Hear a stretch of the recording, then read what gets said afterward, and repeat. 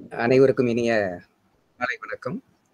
சிவகாசி ஐயனாடார் ஜானகி அம்மாள் கல்லூரியின் இளநிலை தமிழ்துறையின் சார்பாக நடைபெறுகின்ற நூல் வாசிப்பு முற்றம் நூற்ப நூற்றி நாற்பத்தி ஆறாவது நிகழ்வு. இந்த நிகழ்வினுடைய ஆக்கமும் ஊக்கமுமாக இருக்கக்கூடிய கல்லூரியினுடைய நிர்வாகத்தினர் முதல்வர் அவர்களுக்கு நன்றி கலந்த வணக்கத்தை உரித்தாக்குகின்றோம். இன்றைய நாளில் இரண்டு நூல் கருத்துரையாளர்கள் நம்மிடையே நூல் குறித்து பேசுவதற்காக வருகை புரிந்துள்ளனர். ஐயனாடார் ஜானகிமால் கல்லூரியின் கணிதவியல் இரண்டாம் ஆண்டு பயிலுகின்ற மாணவர்கள். இந்த இரு மாணவர்களுமே நூல்கள் மீதான தீவிரமான பற்று உடையவர்கள். கல்லூரியில் நடைபெற்ற ஐம்பது நூல்கள் ஐம்பது மாணவர்கள் என்ற நிகழ்வில் அழகான நூலை தேர்ந்தெடுத்து மிக அழகான நடையோடு அதை எடுத்து பேசிய பெருமைக்குரியவர்கள். கல்லூரியிலும் விவாதங்களில் பங்கேற்று மிகச்சிறப்பாக தங்களுடைய சிந்தனைகளை வெளிப்படுத்தக்கூடிய மாணவர்கள். அந்த வகையில் கந்தர்வன் அவர்களினுடைய கவிதைகள் குறித்து பேசுவதற்கு இளநிலை கணிதவியல் இரண்டாம் ஆண்டு மாணவர் செல்வன் மு. முத்தரசு அவர்களும் அப்துல் ரஹ்மான் அவர்களினுடைய பித்தன் என்ற கவிதை நூல் குறித்து பேசுவதற்கு கணிதவியல் இரண்டாம் ஆண்டு மாணவி செல்வி ரா. பவித்ரா அவர்களும் வருகை புரிந்துள்ளனர். இருவருமே கவிதை குறித்த நூல்களை தேர்ந்தெடுத்திருப்பதும் இந்த நிகழ்விற்கு கூடுதலாக ஒரு சிறப்பு. அஹ் முதலாவதாக இந்நிகழ்வில் செல்வி ரா பவித்ரா அவர்களை அப்துல் ரஹ்மான் அவர்களுடைய பித்தன் என்ற கவிதை நூல் குறித்து பேச வருமாறு அன்போடு அழைக்கின்றேன்.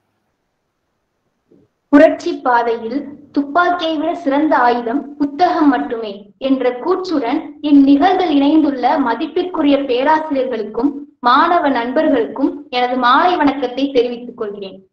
இந்நிகழ்வில் நான் பேச தேர்ந்தெடுத்த நூல் பித்தன். இது ஆயிரத்தி தொள்ளாயிரத்தி தொண்ணூத்தி எட்டாம் ஆண்டு ஆசிரியர் அப்துல் ரகுமான் அவர்களால் எழுதப்பட்ட கவிதை நூல். இருபத்தி ஏழு கவிதைகளை தொகுப்பாக கொண்டது அஹ் குமுதம் என்ற இதழில் தொடராக வெளிவந்தது என்பது குறிப்பிடத்தக்கது. ஆசிரியர் அப்துல் ரஹ்மான் அவர்கள் உவமை உருவகங்களால் கவிதை எழுதுவதில் சிறந்தவர். கவிக்கோ என்ற சிறப்பு பட்டம் பெற்றவர் பாரதிதாசன் விருது கலைமாமணி விருது சாகித்ய அகாதமி விருது போன்ற உயரிய தமிழ் விருதுகளை பெற்றவர். ஹைகோ கஜல் போன்ற பிற பிறமொழி கவிதை வடிவங்களை தமிழில் பரப்பியதில் குறிப்பிடத்தக்கவர். இவர் ஒரு கட்டுரையாளரும் கூட. முதலில் இந்நூலை நோக்கி என்னை ஈர்த்தது தலைப்பு பித்தன்.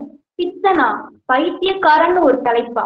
அதுவும் ஒரு கவிதை நூல். அப்படி உள்ள என்ன செய்திகள் எல்லாம் ஆசிரியர் சொல்லிக்கான்னு தெரிஞ்சுக்கிறதுக்கு எனக்குள்ள ஆர்வத்தை ஏற்பட்டுச்சு நம்ம சாலையோரங்கள்ல பல பித்தர்களை பார்த்துருக்கோம். அவங்க கிட்ட பல கேள்விகள் கேட்கணும் நமக்கு தோணும். இவங்க ஏன் இப்படி ஆனாங்க? ஏன் தனியா யார்கிட்டயோ பேசிட்டு இருக்காங்க? ஏன் ஒரு மூட்டையில எதையோ சேகரிச்சுட்டே இருக்காங்க? இந்த மாதிரி பல கேள்விகள் தோணும். ஆஹ் பித்தன்ற ஆசிரியரை பொறுத்தவரை பித்தன்றவரு சாமானியர்களை விட சமூகத்தை வேறு கோணத்தில் பார்ப்பவர் என்பதுதான். அப்படி இருக்க ஆசிரியர் சமூகம் சார்ந்த கேள்விகளை பித்தன் கிட்ட கேட்டு அதற்கு பித்தன் பதில் சொல்ற விதமா இந்நூல் அமைச்சிருக்காரு. பித்தன்றவருக்கு பைத்தியக்காரன்றது மட்டும் அர்த்தம் கிடையாது. ஒரு பொருள் அல்லது செயல் மீது அதிகப்படியான ஆசை கொண்டவர்களையும் நம்ம பித்தன் பைத்தியம் அப்படின்னு அழைச்சிட்டு இருக்கோம். அப்படிப்பட்ட பித்தன் வந்து நம்ம நூல்ல குறிப்பிட்டிருக்க பித்தன் அஹ், உண்மையான நேர்மையான சமூகத்தின் ஒழுக்கமான நடைமுறைகள் மீது அதிகப்படியான ஆசை கொண்டதுனால அவர் பித்தனா மாறல பித்தனா மாற்றப்பட்டாருங்கிறதுதான் உண்மை. அஹ், அஹ், இந்த நூலோட முதல் கவிதையான அறிமுகத்தில் ஆசிரியர் குறிப்பிடுவது பித்தன் ஆலாபனை பாடகனின் இரட்டை ஆனால் எதிர்ப்பதம். பித்தன் ஆலாபனை பாடகரின் இரட்டை ஆனால் எதிர்ப்பதம். இதுல ஆலாபனைன்றது ஆசிரியர் அப்துல் ரகுமான் அவர்களுடைய சாகித்ய அகாதமி விருது பெற்ற கவிதை நூல் நேர்மறையான சிந்தனைகளை கொண்ட ஒரு நூல். ஆனால் பித்தன் நூலை ஆசிரியர் எதிர்மறையான சிந்தனைகளை கொண்டு எழுதியிருக்காரு. பித்தன் கிட்ட நம்ம என்ன கேள்விகள் கேட்டாலுமே அதற்கு பித்தனோட பதில் வந்து எதிர்மறையான சிந்தனையா தான் இருக்கும். எடுத்துக்காட்டாக நீ விடைகளை தேடுபவனா? அப்படின்னு கேட்டா பித்தனோட பதில் வந்து நான் வினாக்களின் ரசிகன் அப்படின்னு சொல்லுவான். நீ உன்னுடைய கொள்கை என்ன? அப்படின்னு கேட்டா கொள்கை இன்மைதான் என் கொள்கை அப்படின்னு சொல்லுவான். இப்படி பித்தனோட பதில்களும் செயல்களும் எதிர்மறையா இருந்தாலும் அது ஏத்துக்கிற மாதிரி தானே இருக்குது இப்ப ஆசிரியர் பித்தன் வந்து நம்ம சமூகத்தின் நடைமுறைய சுட்டி காட்டுற விதமா ஆசிரியர் வந்து கவிதை போக்க கொண்டு போயிருக்காரு. எடுத்துக்காட்டாக அம்பலம்ன்ற கவிதையில அஹ் அம்பலம்ன்ற கவிதையில நம்ம தற்போதைய சமூகத்துல உண்மையா நேர்மையா இருப்பவங்களுக்கு கிடைக்கிற பரிசாக ஆசிரியர் குறிப்பிடுவது என்னன்னா உண்மை பேசினால் பலருக்கு பிடிப்பதில்லை உண்மை பேசினால் பலருக்கு பிடிப்பதில்லை உடனே அவனுக்கு பித்தன் என்று முத்திரை பதித்து விடுவார்கள்.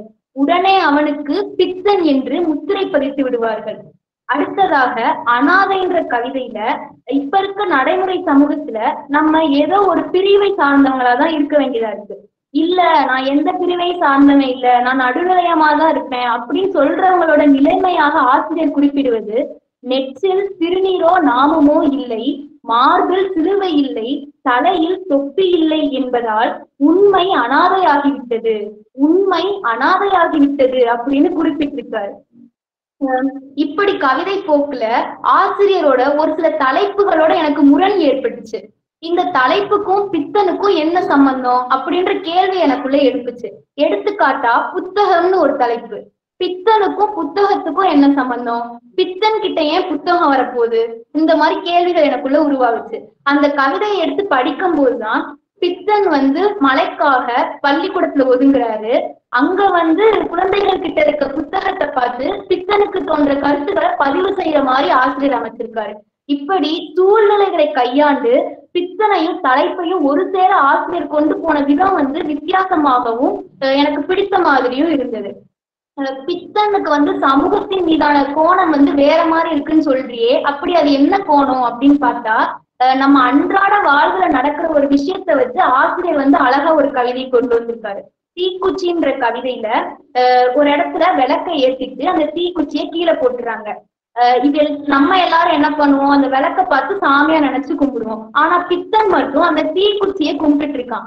ஏன்னு கேட்டா அஹ் ஏற்றப்பட்டதை விட ஏற்றி வைத்ததுதான் சிறந்தது. ஏற்றப்பட்டதை விட ஏற்றி வைத்ததுதான் சிறந்தது. தீக்குச்சி பிச்சை போடுகிறது விளக்கோ பிச்சை பாத்திரம். நீங்கள் விளக்காக இருக்க விரும்புகிறீர்கள் ஏன் தீக்குச்சியாக இருக்க விரும்பவில்லை?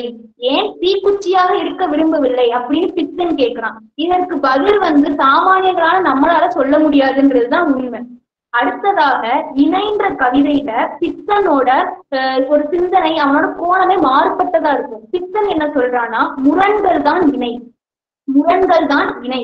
முன்னால் பின் உருவாகிறது மேலால் கீழ் உருவாகிறது. இரு பக்கமும் இருந்தால்தான் நாணயம். முரண்கள் பிரிவதல்ல முரண்கள் இணை அப்படின்னு சொல்றாரு. இதை நம்ம ஏத்துக்கிட்டு தான் ஆகணும் இந்த க- இந்த கவிதை நூலோட மைய கருத்தே சமூகம் பித்தனின் பார்வையில். சமூகம் பித்தனின் பார்வையில் என்பதுதான். இந்த நூல்ல என்னை மிகவும் ஈர்த்த அதே நேரத்துல பித்தனோட என்னை சேர்ந்து சிந்திக்க வைத்த இரு கவிதைகளை இங்க பதிவிடணும்னு நினைக்கிறேன். முதலாவதாக நிகழ்ன்ற கவிதை. இந்த கவிதையை வாசிச்ச உடனே நம்ம வாழ்க்கைய வாழ்ந்து கொண்டுதான் இருக்கிறோமா அப்படின்ற ஒரு கேள்வி எனக்குள்ள உருவாக்குச்சு இருக்கிறேன் என்று சொல்லும் போதே ஒவ்வொரு எழுத்தையும் இறந்த காலம் விழுங்கிக் கொண்டிருக்கிறது. இருக்கிறேன் என்று சொல்லும் போதே ஒவ்வொரு எழுத்தையும் இறந்த காலம் விழுங்கிக் கொண்டிருக்கிறது. இக்கணம் என்று சொல்லும் போதே அது இறந்த கால உண்டியலில் விழுந்து விட்டது இக்கணம் என்று சொல்லும் போதே அது இறந்த கால உண்டியலில் விழுந்து விட்டது இட்ட அடி இறந்த காலத்தில் எடுத்த அடி எதிர்காலத்துக்கு எங்கிருக்கிறது நிகழ்காலம்? இட்ட அடி இறந்த காலத்தில் எடுத்த அடி எதிர்காலத்துக்கு எங்கிருக்கிறது நிகழ்காலம்? இந்த வரிய வாசிச்ச உடனே நம்ம நிகழ்காலத்துலதான் இருக்கிறோமா? அப்படின்ற ஒரு திகைப்பை எனக்குள்ள உருவாக்குச்சு. நமக்கு தெரிஞ்ச மூன்று காலங்கள் இறந்த காலம் நிகழ்காலம் எதிர்காலம். இதுல இறந்த காலத்துல இருந்து எதிர்காலத்தை நோக்கி ஓடிட்டு இருக்க நம்ம நிகழ்காலத்தை வாழ்ந்துட்டு இருக்கோமா? அப்படின்ற ஒரு கேள்வி எனக்குள்ள உருவாக்குச்சு. அடுத்ததாக பக்கவாதன்ற ஒரு தலைப்பு. இந்த தலைப்பை பார்த்த உடனே சரி பித்தனுக்கு இருக்கிற ஏதோ ஒரு நோயை பத்தி பேச போறாரு போல அப்படின்னு பார்த்தா இல்ல. சமூகத்துல பரவி கிடக்கிற நோயை பத்தி அங்க ஆசிரியர் பதிவிட்டிருக்காரு. இந்த கவிதையில ஆசிரியர் குறிப்பிடுவது குளிர்காலத்தில் போர்வை வேண்டும் வெயில் காலத்தில் வேண்டாம். காற்று அடித்தால் அகல்களுக்கு அணைந்து விடுகிறது நெருப்பு கொழுந்து விட்டு எரிகிறது. இப்படி இருக்க நீங்கள் வழங்கும் தீர்ப்பு உண்மையில் தீர்ப்பல்ல அது ஒரு பக்கவாதம். அப்படின்னு குறிப்பிடுறாரு. இந்த கவிதையை வாசிச்ச உடனே நம்ம காலத்தினால சரி தவறுன்னு முடிவு செஞ்சு நம்ம சமூகத்துல வழங்கிக்கிட்டு இருக்க இத்தனை நாள் வழங்கிக்கிட்டு இருந்த தீர்ப்பும் வழங்க போற தீர்ப்பும் பித்தன் சொல்ற மாதிரி உண்மையான தீர்ப்பா? இல்ல அது ஒரு பக்கவாதமான்னு எனக்குள்ள கேள்வியை உருவாக்குச்சு. இந்த கவிதை நூலை படித்த மறைந்த முன்னாள் முதல்வர் கருணாநிதி அவர்கள் அஹ், தன்னுடைய அணிந்துரையில குறிப்பிடுறாரு பித்தனின் உருவகங்களை கவிதைகளை தத்துவங்களை படித்து படித்து அப்துல் ரஹ்மானின் பித்தனாகவே மாறிவிட்டேன் அப்படின்னு அந்த கு- அணிந்துரையில குறிப்பிட்டு இந்த நூலுக்கு மேலும் சிறப்பு சேர்த்திருக்காரு. அஹ் இந்த நூலை படித்த எனக்கு அஹ் அடுத்து நான் சா சாலையோரங்கள பித்தர்களை பாக்குறப்ப எனக்கு தோன்ற ஒரு கேள்வியை இந்த இடத்துல பதிவு செய்யணும்னு நினைக்கிறேன். நான் இதுக்கு இந்த நூலை படித்ததுக்கு அப்புறம் சாலையோரங்கள்ல இருக்கிற பித்தர்களை பார்க்கும்போது இவங்க ஏதோ ஒரு உண்மையோட போர்வையா இருப்பாங்களோ அப்படின்ற ஒரு கேள்வி எனக்குள்ள உருவாக்குச்சு. ஒருவேளை அந்த உண்மையின் போர்வை வெளிவந்தால் எத்தனை பணிமாற்றங்கள் ஏற்படும் எத்தனை பதவிகள் படிப்போகும் இந்த மாதிரி கேள்விகள் எனக்கு தோண ஆரம்பிச்சது. வாய்ப்பளித்தமைக்கு நன்றி பாராட்டி விடைபெறுகிறேன். நன்றி வணக்கம். நன்றி. ஒரு சிறப்பான நூல் குறித்த விமர்சன பார்வையோடு கூடிய கருத்துரை. ஏன்னா நம் அன்றாட விதிமுறைகளுக்கு மாறுபட்டு நடப்பவர்களை பைத்தியம் என்றும் பித்தன் என்றும் கூறுகின்ற வழக்கம் நம்மிடையே உண்டு. அந்த வகையில் அந்த மறுநிலையிலிருந்து மனிதனை பார்க்கின்ற ஒரு பார்வையாக மிக அழகாக அந்த கேள்வி பதில்கள் வழியாக நகர்த்தி செல்கின்ற கவிதையை சிறப்பாக எடுத்துரைத்தார் பவித்ரா அவர்கள். அப்துல் ரஹ்மான் அதில் குறிப்பிட்டிருப்பார் அறிவு சிறையில் இருந்து விடுதலை அடைந்தவன் என்று அதில் பித்தனை குறிப்பிடுவார். ஏன்னா நம்ம அறிவு என்கின்ற அந்த சிறைக்குள் அடைபட்டிருக்கக்கூடிய மனிதர்கள் என்று அந்த அழகான வரிகள் இருக்கும். உண்மையின் பின்பக்கத்தை பார்த்தவன் அப்படின்னு குறிப்பிடுவார். எனவே அழகா அந்த கவிதை வழியாக கவிதை மூலமாக நமக்குள்ள நடக்கின்ற மாற்றங்களை ஏன்னா அடுத்து பித்தனை பார்க்கின்ற பொழுது நமக்குள் ஏற்படக்கூடிய ஒரு பார்வை நிலை என்னவாக இருக்கும் என்பதெல்லாம் எடுத்துரைத்து பேசி மிக அழகாக அந்த அஹ், நூலை நமக்கு அறிமுகம் செய்து வைத்த பவித்ரா அவர்களுக்கு அஹ், நன்றியை தெரிவித்துக் கொள்கின்றோம். அடுத்ததாக முத்தரசு அவர்களை கந்தர்வன் அவர்களினுடைய கவிதை குறித்து பேச வருமாறு அன்போடு அழைக்கின்றேன். நன்றி எங்கும் தமிழ் எதிலும் தமிழ் என்று என் முப்பாட்டன் பாரதிதாசன் கூறிய போல் என் தாய் தமிழை வணங்கி இந்த நான் துவங்குகிறேன். கந்தர்வன் கவிதைகள். ஆஹ் ஒரு கவிதை எழுதுனாலே அந்த மொழி நட அழகு அதை தாண்டி ஒரு தைரியம் வேணும்னு கவிஞர் வாலி ஒரு இடத்துல குறிப்பிட்டிருப்பாங்க. அதுல இந்த கந்தர்மன் வந்து ரொம்ப அதிகமாக தான் நான் சொல்றேன். ஏன்னா ஒரு சாட்டையடி கவிதைகள்னு சொல்லுவாங்க. சாட்டையடி கவிதைகள்னா அந்த கவிதையை படிக்கும்போது அந்த தப்பு செஞ்சவங்களுக்கு சாட்டையால் அடிச்சது போல இருக்கணும். அந்த மாதிரி இந்த ஒரு கவிதையில அவர் அரசியலை பத்தியா இருக்கட்டும் இந்த பெண்களை பத்தின கவிதைகளா இருக்கட்டும் ஒரு மன தைரியத்தோட இருப்பார் எதிர்க்கும் பயப்படாம அஞ்சாம அந்த மாதிரி இந்த படிக்கும்போது அந்த ஓ கவிதையில நம்ம இப்படியும் எழுதலாமா? அந்த மாதிரி இவர்கிட்ட இருந்து நிறைய கத்துக்கிட முடிஞ்சது. அந்த மாதிரி நான் பு- இந்த புத்தகத்தை முதல்ல ஆரம்பிக்கும் போது பாத்தீங்கன்னா ஒரு அழகான நடையில தான் ஒரு மரத்தை பத்தின கவிதையா இருக்கணும் புல்மரம்னா புல்மரம் முளைக்கும் பூமாலை பூக்கும் வானம் இங்கு மட்டும் மில்லாய் வளையும்னு ஒரு புல் வளர்றதோட அழகு நேரத்தை அப்படியே காமிச்சிருப்பாங்க. அதே மாதிரி அடுத்த கவிதையில பேய்மலைன்னு ஒரு கவிதையில வானமே உன் பூமி காதலிக்கு இம்முறை நீ அனுப்பிய கடிதங்கள் எவ்வளவு மூர்க்கமாய் எவ்வளவு மூர்க்கமாய். ஒரு மழை அந்த பேய் மழை பெய்யும் போது எந்த மாதிரி இருக்கும்? அந்த அது வந்து பூமியை வந்து வானத்தோட காதலியா ஒப்பிட்டு சொல்லியிருப்பாரு. அது இப்படி அழகா இருந்தது. எவ்வளவு அழகா இருக்குன்னு இப்படி படிச்சுட்டு ஒரு மாதிரி தெரிஞ்சு அடுத்து வர கவிதைகள் ஒவ்வொன்றும் ஒரு சாட்டை அடியா இருந்தது. இது ஒரு ஊரோட வறுமையை பத்தி ஒரு கவிதை இருப்ப எங்கள் ஒண்ணு எங்கள் ஊர் வானம் பார்த்த பூமி. நீருக்களையும் கொக்குகளாய் ஆஹ், மீனுக்களையும் கொக்குகளாய் நீருக்களையும் மனிதர்கள் நாங்க. அந்த ஊர்ல உள்ள மக்கள்லாம் அந்த நீருக்காண்டி எவ்வளவு தூரம் இயங்குறாங்கிறத அந்த மாதிரி எங்கள் ஊர் கால்நடைகள் குழந்தைகளின் வானியரையும் மக்கி குடித்து விடும். அப்ப அந்த ஊர்ல அவ எவ்வளவு தண்ணி பிரச்சனை அந்த கால்நடைகள்லாம் எவ்வளவு எப்படி இருக்கு? அந்த மாதிரி எங்கள் ஊர் நெல்லுச்சோறும் இந்தியாவின் தாஜ்மஹால் ஒன்று. காண்பது அரிது. அந்த ஊர்ல அப்ப எவ்வளவு பசி வறட்சி நம்ம அந்த இதை ஒரு நயத்தவர்கள் அது மாதிரி பொருளாதார பிரச்சனை. கூலி உயர்வு போர்கள். புறாக்களும் குயில்களும் கீழே இறை தேடி அலைந்தன. மேலே பருந்து சந்தோஷத்தில் குதித்தது. அதாவது இது தொழிலாளிகள்லாம் இங்க கஷ்டப்பட்டு உழைக்க வச்சு அங்க முதலாளிகள்லாம் எவ்வளவு சந்தோஷப்படுறாங்கிறத தொழிலாளிகளா புறாக்களும் குயில்களாம் சொல்லிட்டு முதலாளிகளா பருந்தா ஒப்பிட்டு சொல்லியிருப்பாரு. அதே மாதிரி இல்லை. இல்லைன்னு ஒரு கவிதையில உழுபவனுக்கு நிலம் இல்லை உழைப்பவனுக்கு வேலை இல்லை எங்கள் எங்கள் தேசத்தின் பரப்பிற்கு எல்லையே இல்லை. அது உழுற உழுற துடிக்கவங்க இங்க நிலம் இல்ல. உழைக்கணும்னு நினைக்கிறவங்களுக்கு வேலை இல்லை. நம்ம நாட்டோட நிலைமையை பார்த்தீங்கன்னா சைனா ஒரு சைடு இருந்து பரப்ப வராங்க. காஷ்மீரை பாகிஸ்தான் ஒரு சைடு இருந்து அவச்சு வராங்க. இந்த மாதிரி எல்லைகள் குறைஞ்சிட்டு வருது. அந்த மாதிரி அப்படின்னு சொல்லிப்பாரு. இந்த மாதிரி விடுகதைன்னு ஒரு இந்த புக்ல எனக்கு ரொம்ப பிடிச்சமா கவிஞர். விடுகதை நம் நாட்டில் உயர்ந்தவன் யார்? கிராமவாசியா நகரவாசியா? கேள்வி கேட்டு அதுக்கு அவரே பதில் கொடுப்பாரு. நம் நாட்டில் உயர்ந்தவன் யார்? கிராமவாசியா நகரவாசியா? இல்லை விலைவாசி. விலைவாசியோட நிலைமைகள் இப்போ உள்ள நிலைமைகள் நமக்கு தெரியும். அந்த விலைவாசியோட நிலைமைய எப்படி ஒரு நகைச்சுவையாகவும் சிந்திக்க விதமாக கொண்டு வந்திருப்பாங்க. அது மாதிரி சீக்கிரம் வராத சிறுத்தைகள். இப்போ இளைஞர்கள் வந்து வேலை இல்லாம கஷ்டப்படுறத பத்தி தெரியும். இளைஞர்களே பெற்றோர் இருந்தும் முற்றார் இருந்தும் நீங்கள் அனாதைகளே. வந்து பெற்றோர் இருந்தும் முற்றார் வேலை இல்லாம இருக்க உங்களை அனாதைகள் தான் சொல்லுவாங்க. அதாவது ஒவ்வொன்றுக்கும் ஒவ்வொரு தெய்வம் இருக்கு நாட்டுல.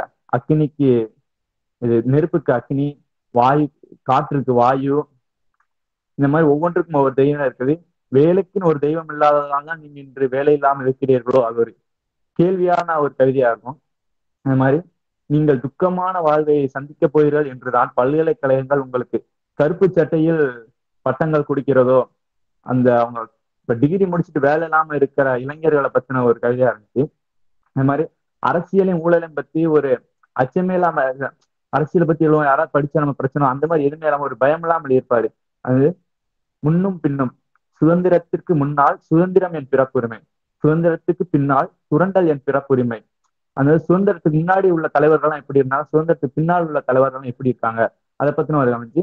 ரேசன் அப்படின்னு ஒரு கவிதையில ரேஷன் கடையில் அரிசி வாங்கி கல்லையும் நெல்லையும் பொறுக்க நினைத்த எங்களால் அரிசியை தான் பொறுக்கி கல்லு தான் அதாவது ரேஷன் கடையில அரிசி வாங்கி அதுல கல்லையும் நெல்லையும் பொறுக்க நினைச்சு அரிசியை அரிசியை பொறுக்கணும் நினைச்சேன் ஏன்னா அவ்வளவு ஊழல் இப்ப நடக்குது. அதை பத்தின அந்த ரேஷன் கடையில உள்ள அரிசி வாங்குறதுல எவ்வளவு ஊழல் நடக்காத மாதிரி. பகுத்தறிவாளரேங்கிற ஒரு கவிதையில மீனாட்சி அம்மன் கழுத்தில் உள்ள நகையை விலையை கேட்கும் பகுத்தறிவாளரே மேயரின் கழுத்தில் கிடைக்கும் நகையின் எடை பத்து பவுன் ஐயா. இதுல வந்து சில பகுத்தறிவாளர் இருப்பாங்க இந்த தெய்வத்துக்கு நம்ம இவ்வளவு நகை போடுறோம். இப்படி கேட்கறவங்க எல்லாம் அந்த மேயர் இவங்க இது எம்எல்ஏ இவங்களை வாங்குற சம்பளத்தை விட அவங்களோட சொத்து மதிப்பு எல்லாம் அதிகமா இருக்கு. அதை முதல்ல கேளுங்க. அதுக்கடுத்து இந்த தெய்வத்தை சைடு வாங்க அப்படின்னு மாதிரி ஆண்டாலும் ஆண்டாரும். ஆண்டால் போட்டு வைத்து ஆரம்பித்த ஆள் உயர மாலைகள் ஒன்று ஆண்டார் ஆழ்வோர் கைகளை விட்டு இறக்க முடியவில்லை. ஏன்னா இப்ப மாலைகள்லாம் இப்ப ஆண்டுகிட்டு இருக்கவங்களும் முன்னாடி ஆண்டு மட்டும் மாலைகள் அப்படி பெருசு பெருசா இது பண்ணிட்டு இருக்காங்க அந்த மாலைகளை நம்ம தெய்வத்துக்கு போட்டாலும் கொஞ்சம் புண்ணியம் கிடைக்கும் போல. அந்த அளவுக்கு உண்டான மாலையா ஆண்டாள் போட்டு வைத்து ஆரம்பித்த மாலைகள் இன்று வரை இறக்க முடியவில்லை. அது ஒரு நகைச்சுவையாக சொல்லிப்பாரு அது மாதிரி சட்டமன்றம் இது வந்து இப்ப உள்ள நன்மை கண்டிப்பா பொருந்தும். ஞாயிறு முழுவதும் விளையாடு முடித்த மகன் அழைத்தான் தந்தையை. வாப்பா நீதான் அமைச்சரம் நான் தான் மந்திரியம். வா போய் சட்டமன்றத்தில் விளையாடுவோம் என்று. அது வந்து வாரிசு அரசியலை பத்தி இதுல ஒரு நகைச்சுவை சொல்லியிருப்பாரு. இந்த மாதிரி பைகள்ங்கிற ஒரு கவிதையில எம்எல்ஏ சட்டையில் பை வைத்தார். எம்பி சட்டையில் சில பைகளை வைத்தார். மந்திரி சட்டையை பைகளாய் தைத்தார். அது வந்து அவங்க எவ்வளவுலாம் சொன்னாங்க. எம்எல்ஏ ஐம்பதாயிரம் கொள்ளையடிச்சாருன்னா அவங்க ஐம்பது லட்சம் கொள்ளையடிக்காங்க அதுக்கு மேல உள்ளவர் ஐம்பது கோடி கொள்ளை அடிக்காரு இதை ஒரு காமெடியா ஒரு பைகளை வச்சு அப்படின்னு சொல்லியிருப்பாரு? இந்த மாதிரி பெண்கள் அடிமைத்தனத்தை பத்தி சொல்லியிருப்பாரு.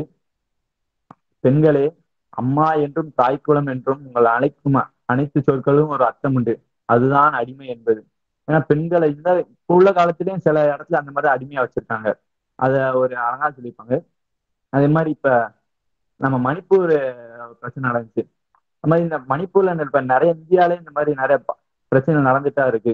இதனால பெண்கள் தான் நிறைய சூசைட் அட்டன் பண்ணி இந்த மாதிரி நடக்குது. ஆனா இந்த கவிதையை தப்பு பண்றவங்க படிச்சு அவங்க சூசைட் அந்த மாதிரி ஒரு கவிதை இருக்கும்.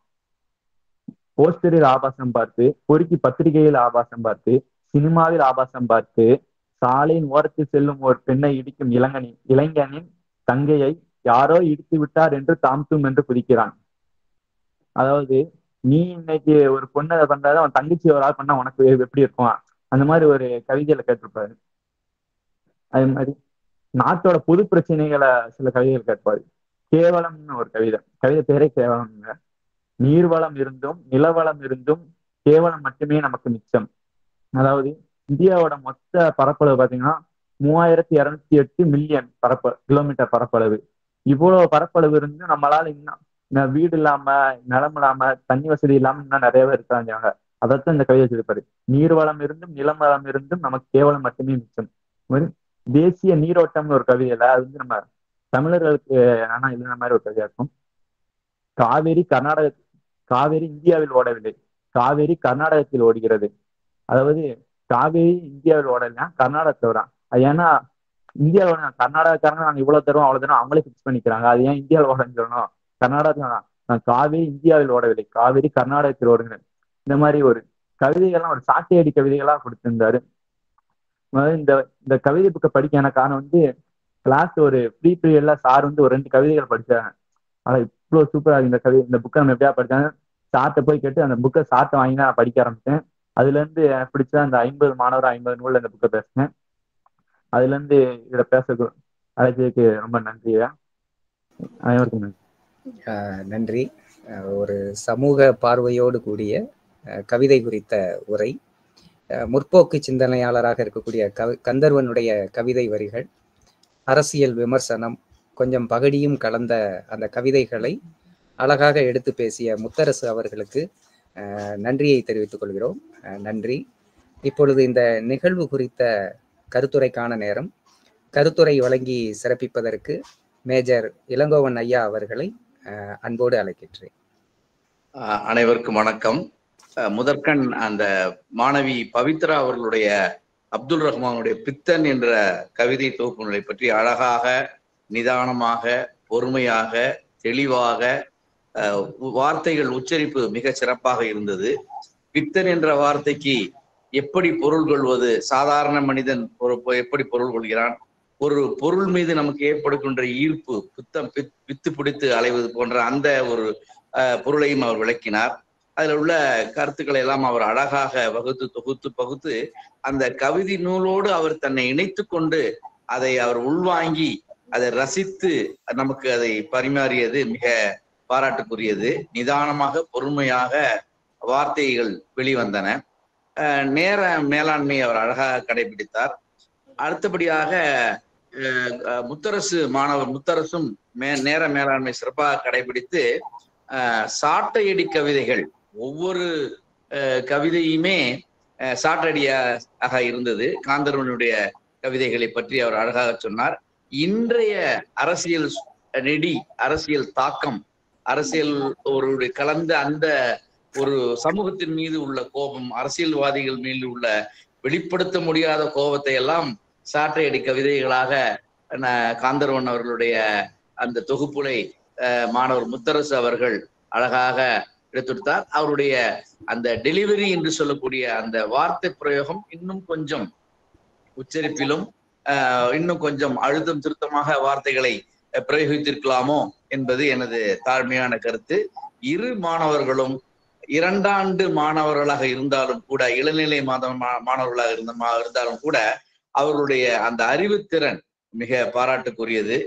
தமிழ் மீதும் தமிழ் கவிதைகள் மீதும் அவர்கள் கொண்ட அந்த ஈடுபாடு அந்த ஈடுபாட்டிற்கு ஒரு அங்கீகாரம் அளித்து அதற்கு ஒரு களம் அமைத்து கொடுத்த சிவகாசி ஐயனாடார் ஜானியம்மாளுக்கனுடைய இளநிலை தமிழ் துறைக்கு பாராட்டு அருமையாக இருந்தது. இந்த அறிவு அஹ், கொழுந்துகள் சிகரமாக வளர வேண்டும் என்பது நமது வாழ்த்து. நன்றி வணக்கம். கருத்துரை வழங்கி சிறப்பித்த மேஜர் இளங்கோவன் ஐயா அவர்களுக்கு நன்றி. அடுத்ததாக இந்த நிகழ்வு குறித்து கருத்துரை வழங்க குணசீலன் சுப்பிரமணியன் ஐயா அவர்களை அன்போடு அழைக்கின்றேன் அனைவருக்கும் வணக்கம். உண்மையிலேயே ஒரு அருமையான ஒரு இரண்டு கவிதை நூல்களை இரு மாணவர்களும் மிகச் சிறப்பாக படைத்தார்கள்.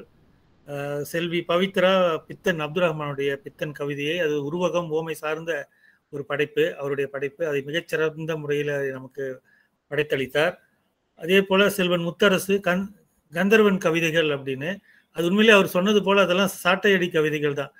சமூக அவலங்களை அலங்காரமற்ற சொற்களில் அல்லது மொழியில் பிரச்சார நெடியில் அவருடைய அந்த படைப்புகள் இருந்தன. அதை மிக சிறப்பாக நம்மோடு பகிர்ந்து கொண்ட இருவருக்கும் நம்முடைய பாராட்டுக்கள்.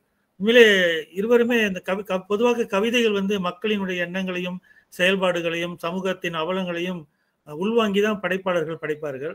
அவர்கள் படைத்ததை இவர்கள் இருவரும் படித்து உள்வாங்கி நமக்கு அதாவது அந்த நேரம் மேலாண்மை சொன்னாங்களா அந்த குறுகிய நேரத்துல மிக தெளிவாக அந்த கவிதைகளை எடுத்துக்கொண்டு நமக்கு விளக்கிய இருவருக்கும் பாராட்டுக்கள். உண்மையிலே வந்து இன்றைக்கு இந்த கவிதையெல்லாம் படிக்கும் அவங்க படிக்க கேட்கும்போது நமக்கு மீண்டும் அந்த கவிதை நூல்களை வாசிக்க வேண்டும் அப்படின்னு இருக்கு. குறிப்பாக ஒரு முத்தரசனுடைய அந்த அவருடைய சொன்ன அந்த அந்த சாட்டையடி கவிதை வரிகள்லாம் ரொம்ப அருமையான கவிதைகள்.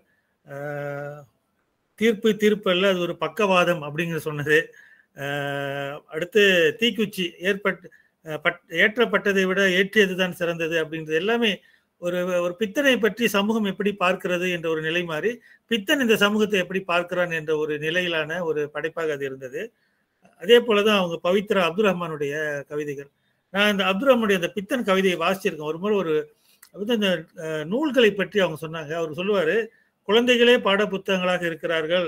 அவர்கள் கையில் ஏன் காகித குப்பைகள்? அப்படி என்று சொல்வார்கள். பாட புத்தகங்களை வந்து காகித குப்பைகள் அப்படின்னு சொல்லுவாரு. ஆக மீண்டும் அப்துல் ரஹ்மானுடைய கவிதையை நினைத்து பார்ப்பதற்கான வாய்ப்பை ஏற்படுத்தி தந்த பவித்ராவுக்கும் சாட்டையடி கவிதைகளை கவிஞரை நாம் திரும்பி பார்க்க வைத்த முத்தரசுக்கும் என்னுடைய பாராட்டுகளையும் நன்றிகளையும் தெரிவித்துக் கொள்கின்றேன். நன்றி வணக்கம். நன்றிங்க ஐயா. கருத்துரை வழங்கி சிறப்பித்த குணசீலன் சுப்பிரமணியன் ஐயா அவர்களுக்கு நன்றி. நிறைவாக நன்றி உரை நன்றி உரை வழங்குவதற்கு தமிழ்துறை உதவி பேராசிரியர் ஊசாயே தமிழரசன் அவர்களை அன்போடு அழைக்கின்றேன். அனைவருக்கும் இனிய மாலை வணக்கம். பன்னாட்டு அளவிலான நூல் வாசிப்பு முற்றம் நிகழ்வு நூற்று நாற்பத்தி ஆறு. இந்நிகழ்விற்கு அனுமதி அளித்துள்ள எம் கல்லூரி தாளாளர் முதல்வர் அவர்களுக்கு நன்றியினை தெரிவித்துக் கொள்கின்றோம். தொடக்க உரை ஆற்றி சிறப்பித்த ஒருங்கிணைப்பாளர் முனைவர் வினோத் ஐயா அவர்களுக்கு நன்றி. இன்றைய நூல் கருத்துரையாளர்களாக ஐயனாடார் ஜானகி அம்மாள் கல்லூரியின் இளநிலை இரண்டாம் ஆண்டு கணிதவியல் துறை மாணவர்கள் இருவர் நூல் கருத்துரை வழங்கி சிறப்பித்தார்கள். முதலாவதாக செல்வி பவித்ரா அவர்கள் அப்துல் ரகுமான் அவர்களினுடைய பித்தம் என்கின்ற கவிதை நூல் குறித்து சிறப்புரையாற்றினார். உண்மை நேர்மையின் முத்திரையாய் வாழக்கூடிய மனிதர்கள் பித்தனின் பார்வையில் சமூகம் குறித்தான கவிதைகளை அம்மா அவர்கள் எடுத்துரைத்தார். அவர்களுக்கு நன்றியினை தெரிவித்துக் கொள்கின்றோம். அடுத்த நூல் கருத்துரையாளராக இரண்டாம் ஆண்டு மாணவர் செல்வன் முத்தரசு அவர்கள் கந்தர்வன் அவர்களினுடைய கவிதைகள் குறித்து எடுத்துரைத்தார். இயற்கையினுடைய அதிசயம் வறுமை தொழிலாளர் நலம் வேலைவாய்ப்பின்மை அரசியல் என சமூகம் சார்ந்த கவிதைகளை எடுத்துரைத்தார். அன்னார் அவர்களுக்கும் நன்றியினை தெரிவித்துக் கொள்கின்றோம். இன்றைய நிகழ்வு குறித்தான கருத்துரை வழங்கி சிறப்பித்த மேஜர் இளங்கோவன் ஐயா குணசீலன் சுப்பிரமணியன் ஐயா அவர்களுக்கும் நன்றியினை தெரிவித்துக் கொள்கின்றோம். தொடர்ந்து நம்முடைய நூல் வாசிப்பு முற்றத்தில் பயணித்து வருகின்ற உள்நாடு வெளிநாடு வாழ் தமிழ் ஆர்வலர்கள் பேராசிரியர்கள் மாணவர்கள் அத்துணை பேருக்கும் நன்றியினை தெரிவித்துக் கொள்கின்றோம். மண்புழுக்கள் மண்ணை வளமாக்குகின்றன புத்தகங்கள் மனதை வளமாக்குகின்றன. மீண்டும் நல்லதொரு நூலோடு அடுத்த நூல் வாசிப்பு முற்றத்தில் சந்திப்போம். நன்றி வணக்கம்.